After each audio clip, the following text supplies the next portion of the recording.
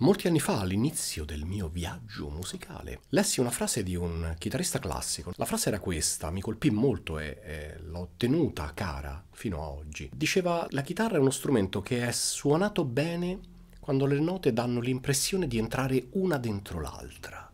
Mi colpì molto, io ero giovanissimo, stavo muovendo i primi passi, però capii che dentro quell'affermazione c'era qualche cosa che riguardava il mio strumento, qualcosa che non ero proprio in grado di comprendere in quel momento, ma che sarebbe stato importante. Non so come a volte abbiamo queste intuizioni. Stavo facendo una lezione con uno studente, vi faccio ascoltare un pezzettino di un arrangiamento che ho fatto di un brano molto conosciuto dei Beatles che è While My Guitar Gently Weeps di George Harrison. Perché è un arrangiamento non particolarmente difficile, all'apparenza non particolarmente difficile, ma che nasconde alcune cose che possono essere interessanti. Abbiamo passato una lezione a correggere delle note che non davano l'impressione di entrare una dentro l'altra. Non è tanto sulla prima parte.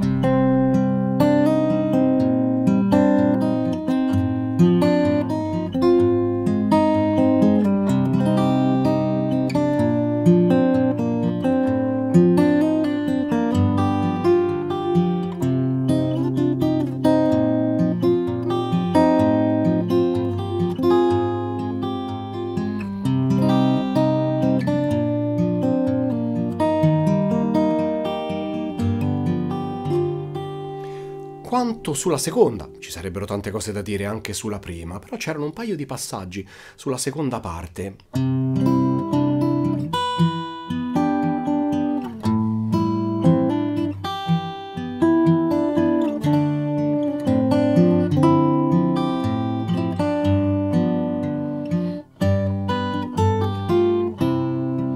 Questo passaggio in particolare è la parte iniziale. Qui suono la melodia in questa maniera. Il brano è, per come l'ho arrangiato, in La minore e, e La maggiore, ovviamente come l'originale, però il capotasto al terzo perché non mi piaceva suonarlo nella tonalità originale in basso, mi piaceva dargli un po' di brillantezza, ma al di là di quello che è una scelta assolutamente personale, mi riferisco agli accordi come se il capotasto non ci fosse. Questo, il primo accordo del ritornello, è un, un La maggiore. Le note sono queste, la, si, la. Si può suonare in molti modi, no? Si può fare così, perché no? Chi avrebbe avuto niente da ridire? Io. Perché mi sembra più bella questa cosa.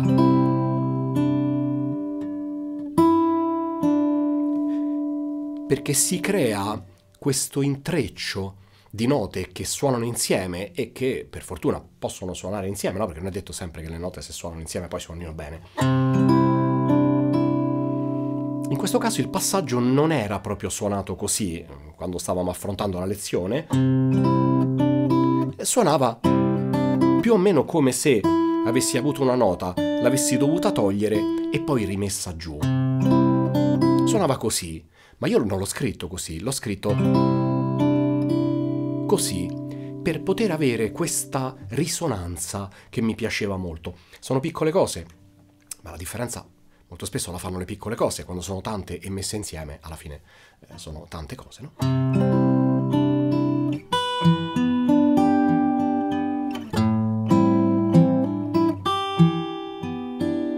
Per esempio, questo cantino mi serve se viene stoppato si perde completamente quella, no? quella, magia, quel legame che c'è fra due accordi che sono completamente eh, staccati in posizioni diverse.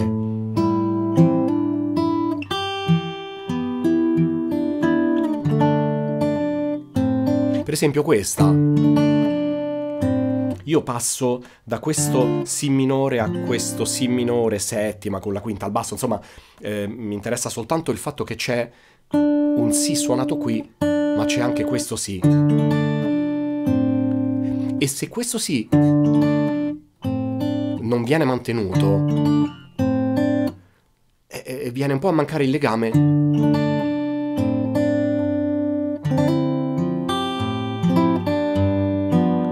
poi questo passaggio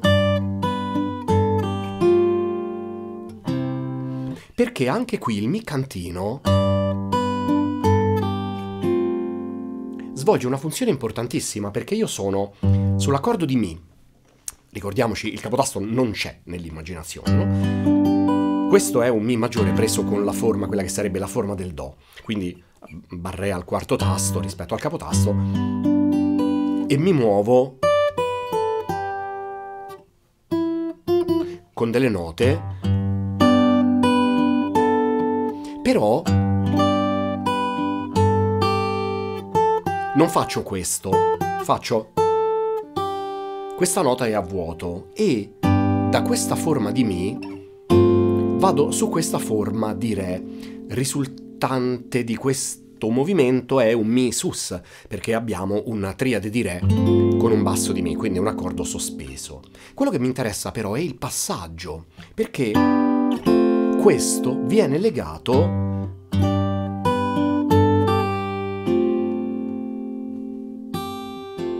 Questa continua a suonare, non so quanto si senta dal microfono, ma penso sia abbastanza evidente. Se io questo Mi non lo faccio suonare perché per un qualunque motivo lo tocco con la mano destra o la sinistra mentre mi sto spostando di posizione,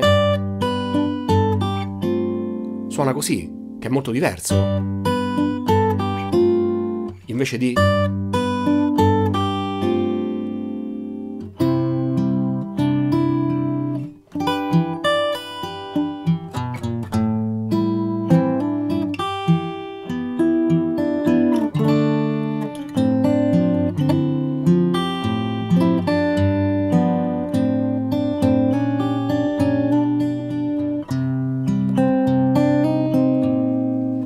parte l'ho già suonata prima. È un arrangiamento che trovate eh, sul mio canale Patreon, comunque una delle cose che ho pubblicato da tempo. È una cosa che suono, mi capita di suonare anche dal vivo, in realtà non è un arrangiamento, è molto semplice, ma mi piace il suono. le cose semplici a volte suonano bene, guardate che strano. Mi dà modo a lezione di confrontarmi su due o tre punti molto molto importanti che regolarmente vengono skippati, vengono saltati, perché in quel momento probabilmente ci si sta concentrando su altro e quindi quando ci si sta con, con, concentrando su altro magari si tende un po', no vabbè dai, il passaggio l'ho suonato, sta nota, che vuoi che sia? E invece sta nota che vuoi che sia è proprio la nota che fa la differenza e molto spesso è quello che ci fa la differenza uh, in tutto quello che suoniamo, in come lo costruiamo e in come mettiamo gli elementi insieme per farli ascoltare poi agli altri, perché eh, noi suoniamo anche per, per il piacere nostro, ma anche probabilmente per far ascoltare qualche cosa di bello agli altri. E qualche cosa di bello, se è bello, è meglio che se è brutto.